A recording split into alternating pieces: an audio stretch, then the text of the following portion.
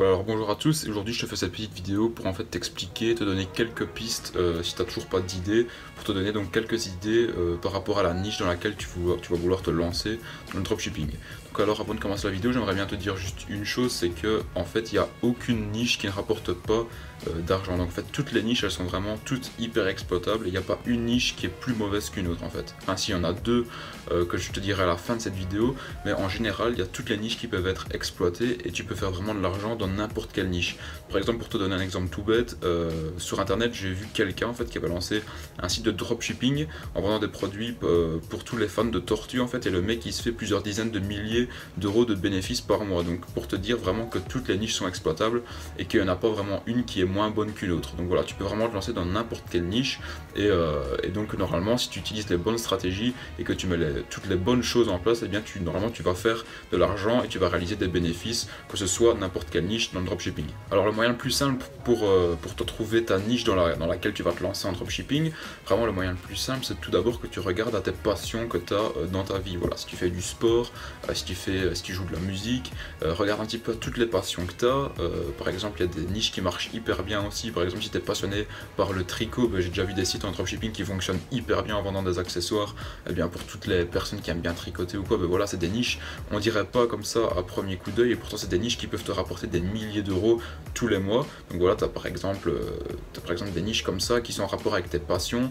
si par exemple tu joues au foot, et eh ben voilà, pose-toi les questions. Est-ce que tu aimerais pas lancer un, site en dropshipping sur le football? Si tu joues de la musique, voilà, des sites euh, par exemple sur les accessoires de guitare, j'ai déjà vu ça marche hyper bien, sur euh, des accessoires de je sais pas moi de piano, enfin je m'y connais pas du tout, mais donc voilà, si t'as une passion, euh, exploite là et lance ton site en dropshipping par exemple, des sites qui marchent hyper bien également, si t'es passionné par la pêche, voilà, moi j'y connais rien, mais j'ai vu des gens qui avaient lancé des sites en dropshipping sur la pêche et c'est vraiment des sites ben, qui ont cartonné et les mecs ils ont réalisé ben voilà des dizaines de milliers d'euros de bénéfices. Alors aussi pour te donner un petit mot bien sur les niches de passionnés comme par exemple la pêche, les guitares, etc. Si euh, donc tu arrives à avoir des clients qui sont hyper passionnés, donc par exemple comme des niches comme je t'ai dit, donc la guitare et la pêche, et eh bien généralement les gens qui sont passionnés, ils auront beaucoup plus facile à mettre de l'argent sur la table que des personnes qui ne sont pas passionnées. Donc si tu te trouves vraiment dans une niche où il y a des personnes qui sont hyper passionnées par la niche dans laquelle tu t'es lancé, et eh bien les gens auront beaucoup plus facile à mettre de l'argent. Généralement les passionnés, ben, ils comptent pas vraiment leur argent. Voilà, si t'es passionné par le football, eh ben, pour toi un maillot de foot à 80 euros, ben, c'est pas cher, tu vois. Euh, tandis que par exemple pour quelqu'un qui est pas passionné par le foot, ben, un maillot de foot à 80 euros c'est cher, tu vois. Si tu, arrives vraiment à toucher des personnes qui sont passionnées par euh, ta niche, donc par ta thématique, eh bien euh, ces personnes-là vont vraiment avoir beaucoup plus facile à mettre des, euh, dizaines, voire des centaines d'euros sur ton site dropshipping. et donc comme ça, bah, toi tu vas te faire beaucoup plus de bénéfices. Donc n'hésite pas à te lancer vraiment dans une niche de passionnés. Alors petit conseil, ne faites pas comme je dirais 90% des personnes qui se lancent en dropshipping, ne faites pas deux types de sites, donc ne vous lancez pas dans deux types de niches. Les, personnes qui se lancent dans le dropshipping, je, vois que 90% de ces personnes-là, ils se lancent tous dans deux types de niches. Premièrement, la niche des, accessoires pour, euh, pour animaux, pour chiens ou pour chats. Ça, c'est une niche qui est surexploitée. Euh, moi, je te déconseille de te lancer dans cette niche-là. Voilà, après, tu pourras tout le temps faire de l'argent dans cette niche-là, mais il y a tellement de concurrence que je te déconseille de te lancer là-dedans. Et la deuxième niche, c'est euh, les niches de, donc, où tu vas vendre des coques pour smartphone. Ça aussi, c'est c'est vraiment une niche où il y a la concurrence est vraiment euh, hyper grosse, tu as déjà plein de sites qui le font, donc moi je te déconseille de te lancer là-dedans. Après voilà, si, tu utilises vraiment les bonnes stratégies, que tu es vraiment euh, balèze en tout ce qui est back-end, etc., ben, tu vas faire du chiffre d'affaires. Mais euh, si, tu veux, si tu te lances dans le dropshipping, que tu n'as encore fait aucun site, je te déconseille de te lancer dans cette niche-là, parce que tu vas avoir vraiment beaucoup de mal à réaliser du chiffre d'affaires et donc engranger des bénéfices. Alors pour vérifier si par exemple tu surfes sur une tendance d'un objet, pour un petit peu déceler les nouveaux objets du moment, si tu veux commencer à les vendre en dropshipping, je vais te conseiller ici maintenant sites. Le premier site, ça va être le site Trend Hunter, pardon, que je te mettrai le lien dans la description. Et ça, en fait, c'est un site qui va reprendre toutes les tendances du moment, euh, les objets qui, qui, sont vraiment, euh, qui sont vraiment en, top tendance voilà, du moment. Comme par exemple Lens Spinner, ben voilà, ils sont arrivés sur ce site-là. Après, il y en a plein qui les ont vendus en dropshipping et euh, voilà, qui ont réalisé des centaines de milliers de chiffres d'affaires. voilà, donc en fait, ce site-là, il va reprendre en fait toutes les, toutes les nouvelles tendances qui arrivent sur le marché et qui sont aussi disponibles sur AliExpress dans la plupart des cas. Donc voilà, tu vas vraiment pouvoir te référer à ce site-là si tu as vraiment pas d'idée de niche et que tu veux vraiment par exemple surfer sur une tendance. Donc voilà. Rends-toi sur Trend Hunter, tu vas voir, il y a des dizaines de milliers d'idées de produits que tu vas pouvoir vendre en dropshipping.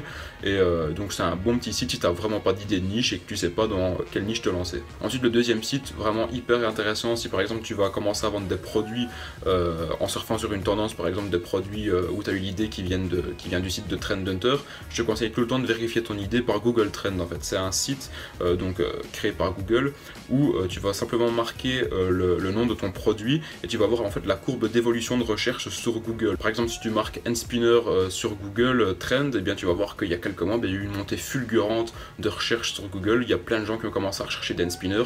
Et donc voilà, si tu étais vraiment tombé euh, dans la période eh bien, où tous les gens cherchaient l'Nspinner, ben là tu pouvais vraiment te lancer et créer ton site. Voilà, maintenant c'est un petit peu démodé, mais il y a encore plein de nouvelles tendances qui sont là. Ben, tu, iras voir par, par toi-même sur Trend Hunter. donc voilà, pour valider vraiment la recherche d'un produit, va tout le temps voir sur Google Trend pour voir vraiment si ce produit-là est en vogue et s'il y a beaucoup de personnes qui, qui tapent tout simplement ce, mot-clé-là sur Google pour voir s'il est vraiment très recherché euh, par, la, par la communauté qui veut ce produit-là. Alors aussi, si tu veux vraiment euh, trouver euh, une niche rentable, ben voilà, tu vas voir sur les marketplaces. Les marketplaces, c'est quoi? C'est ben voilà, tous les gros sites du style Amazon, Alibaba, AliExpress. Tu vas voir dans ces sites-là, tu vas par exemple voir dans les meilleures ventes et là, tu vas avoir plein d'idées de produits, donc plein d'idées de niche également. Si tu, si tu trouves vraiment pas de niche, tu vas voir sur les marketplaces du du type Amazon, etc. Tu vas voir les meilleures ventes et là, eh bien, tu vas avoir plein d'idées de produits. Donc, comme je t'ai dit, tu vas pouvoir également trouver des idées de niche euh, dans lesquelles tu vas pouvoir te lancer et donc faire beaucoup d'argent. Et alors, le dernier petit conseil que je vais te donner, bah, tout simplement, tu vas voir sur, les réseaux sociaux, tu vas voir sur Pinterest, sur Instagram, sur Twitter, sur Facebook, les produits qui sont en tendance. Voilà, par exemple, sur, euh, Facebook, euh, un produit qui était vraiment hyper en tendance, bah, comme je t'ai dit il y a quelques temps, c'était les spinner, on en a vu pas mal sur Instagram aussi. Maintenant, c'est terminé. Cette mode-là, pour moi, ça va être compliqué de se faire de l'argent grâce au spinner euh, à l'heure actuelle. Mais donc voilà, n'hésite pas également à surfer sur les réseaux sociaux, un petit peu voir ce qui se fait de plus euh, en ce moment et donc surfer sur la tendance si tu n'as pas d'idée de niche. Moi je te conseille vraiment de te lancer dans une niche spécialisée, une niche de passionné. C'est là-dedans que tu vas pouvoir faire le plus d'argent sur le long terme parce que si tu surfes sur une tendance, tu vas pouvoir certes te faire beaucoup d'argent mais sur le court terme. Et bon après, une fois que la tendance sera démodée, eh bien tu auras plus de mal à vendre ce produit-là et tu devras recréer un nouveau site. Donc moi je te conseille vraiment de te focaliser sur un site de niche spécialisé pour les passionnés et c'est là-dedans que tu vas pouvoir faire le plus d'argent possible et donc c'est là-dedans que tu vas pouvoir gagner le plus d'argent. Voilà, donc c'était un petit peu euh, mes petits conseils du jour pour trouver ta niche euh, pour te lancer dans le dropshipping. Moi je te dis merci d'avoir regardé cette vidéo. Si elle t'a plu, n'hésite pas à laisser un petit pouce bleu, ça fait toujours plaisir, et à t'abonner bien évidemment. Et moi je te dis à la prochaine pour une prochaine vidéo. Salut